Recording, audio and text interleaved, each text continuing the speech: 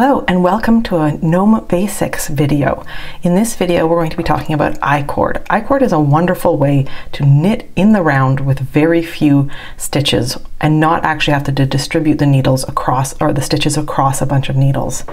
For this you will need two needles with the capacity to slide back and forth or uh, hop the yarn back and forth.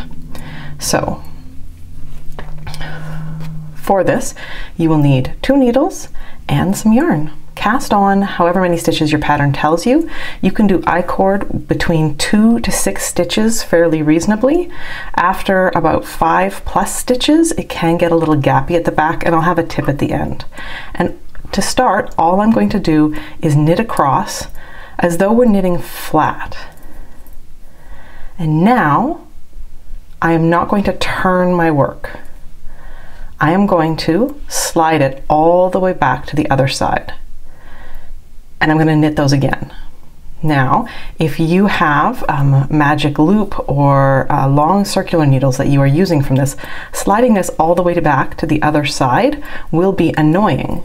So instead of sliding it back at this point, just pop the stitches from one tip onto the next. So let me slow down and show you what I'm doing with the I-cord.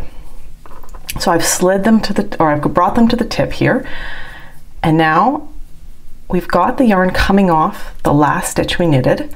One of the nice things about knitting is you can figure a lot out by paying attention to where the yarn's coming from. The yarn will come from the last stitch we worked. And we're going to bring it across and work it just as we would a normal knit stitch. So for a continental knitter, that might look like this.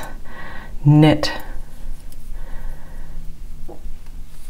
knit, knit, whereas for a English style thrower, that might look like, and this is one that I struggle with a little bit, that look might look like,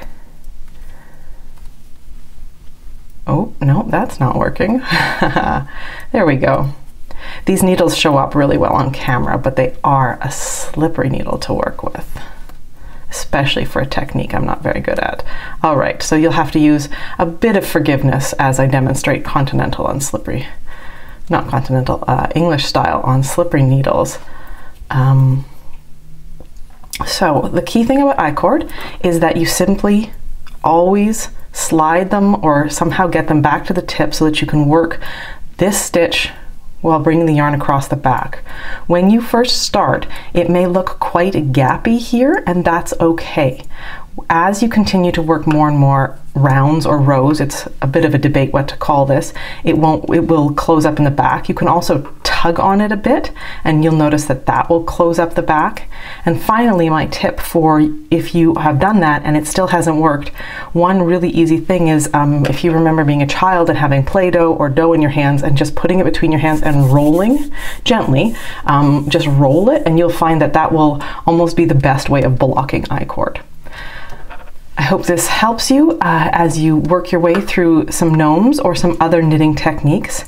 It's really very simple. The key thing is to remember not to turn the work. Knit across, get those to a workable position, whether you're sliding or hopping them back as you would with a long circular, and just, again, knit across. The I in I-cord, uh, Elizabeth Zimmermann said, came from idiot because it was so simple, even an idiot could do it.